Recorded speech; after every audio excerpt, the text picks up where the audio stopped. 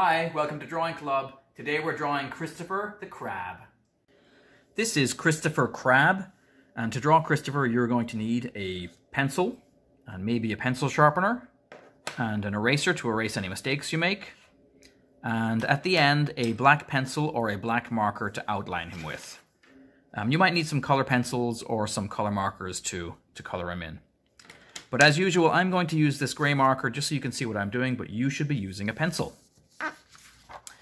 Okay, so Christopher starts, like so many of our drawings, with a nice big oval shape. This is going to be Christopher's body. We're going to make a big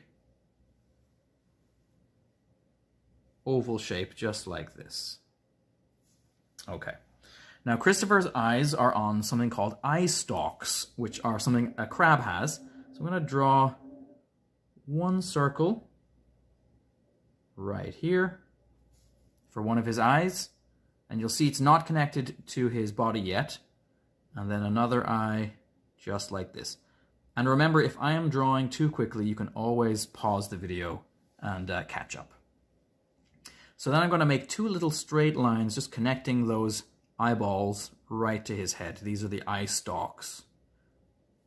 And these are very useful for a crab because when crabs like to hide, they can pop their eyes up above um, from behind a rock or under the sand and see what they need to see without being seen by something that might want to eat them. I'm going to give this uh, Christopher Crab, he's quite happy, so I'm going to give him those happy kind of eyes that look like an upside down U. Just like that. And another one over here. There we go. Um, we're going to give him big, big claws. So I think we're going to start by just making two lines like this coming out from the side. And then we'll do a big curving line for one part of the claw like that.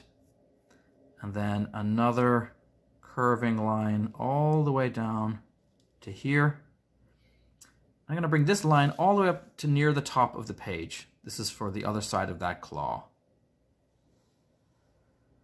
just passing by that line. Don't worry if, you, if you've crossed it uh, over, because this is just for the pencil part. You can erase any mistakes you make after we go over it with our um, black marker or black pencil crayon.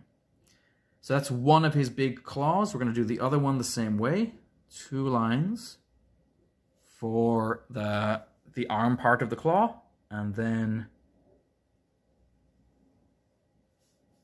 a big circle like that, or part circle, and then down to there. I'm going to stop it.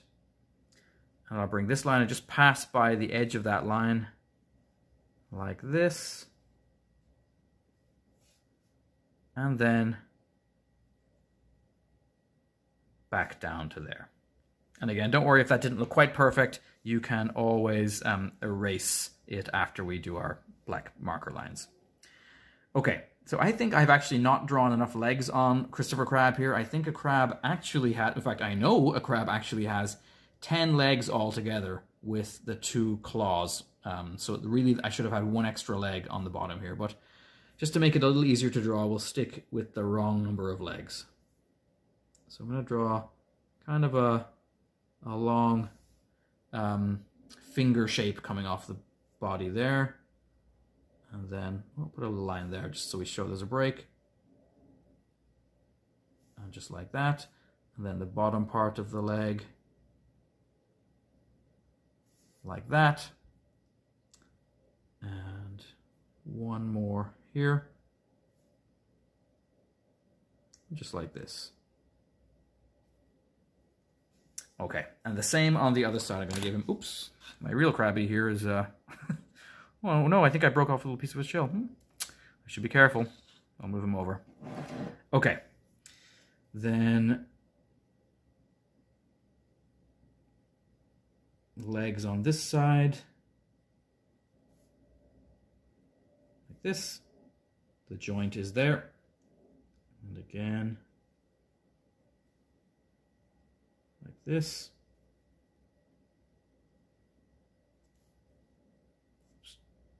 there. And one more.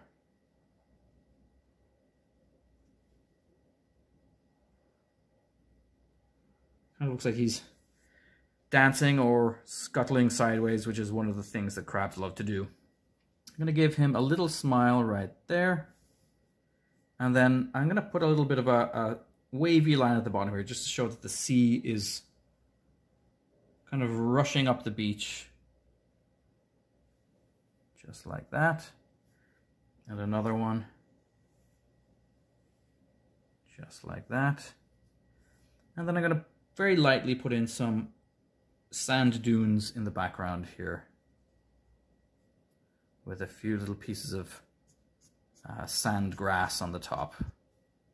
That grass is what keeps the dunes together. That's why we're not supposed to walk um, in the sand dunes at Brackley because if that grass gets torn up, then the sand dunes will just blow away and that would be very sad. Okay, that's all we need to do with our pencil for Christopher Crab. So I'm going to take my black outliner marker now, and uh, you can do the same. And again, if uh, after you've outlined it with marker, then if there's any extra lines you don't need, you can always erase them. So I'm not going to go over all of these lines. For example, this little line here, where at the bottom of the eyeball, I'm not going to go over that with my marker because I would want to erase that at the end. So we've been talking um, in some of our other videos about insects and insects. Another name um, for all insects, because they're part of a special family of animals, is arthropods. And arthropods have a hard skeleton on the outside of their body. And crabs and lobsters and other animals that live in the sea are also um, arthropods if they have that kind of hard shell on the outside of them.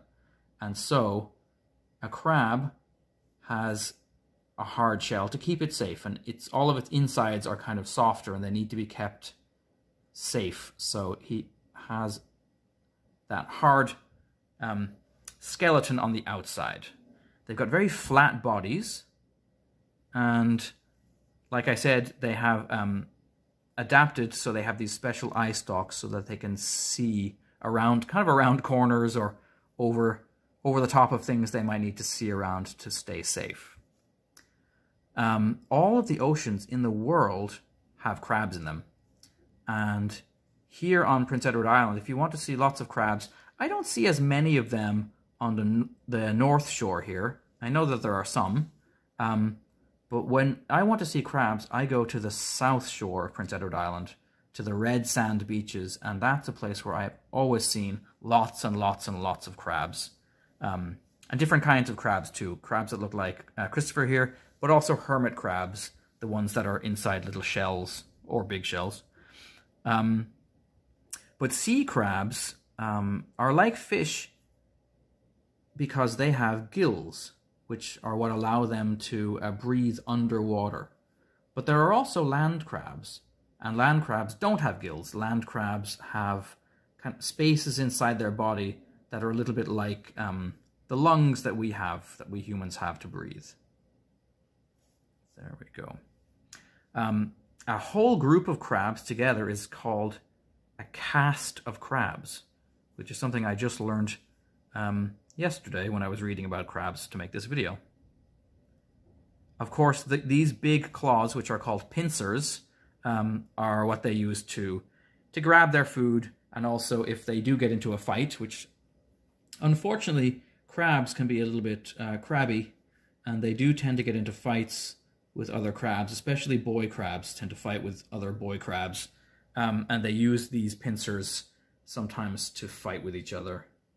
Um, but one interesting thing that I I don't think I knew before, or if I did, I forgot about it, is that if they lose one of their pincers, or if they lose one of their legs in a fight, um, or if another animal is trying to eat them, um, there are some kinds of crabs that can grow back their claws and grow back their legs, which is pretty cool.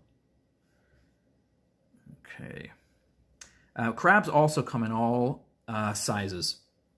Um, the biggest crabs in the world actually live in Japan. They're called spider crabs, and they are absolutely huge. And crabs can also be extremely small. So it just depends on the type of crab.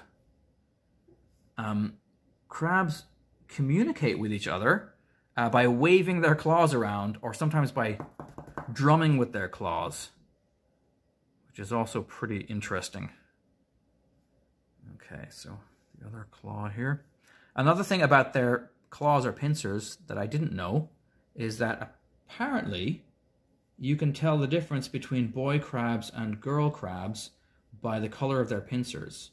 And funnily enough, boy crabs often have blue pincers or blue claws, and uh, girl crabs often have red pincers. Um, crabs are omnivores. Now, we've talked a little bit before about um, what animals eat, and we you might remember that we've talked about meat-eating animals, which are called carnivores.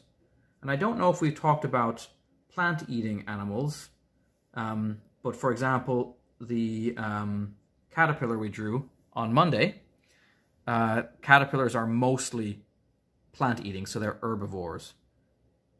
But some animals eat both, plants and other animals, and they are called omnivores.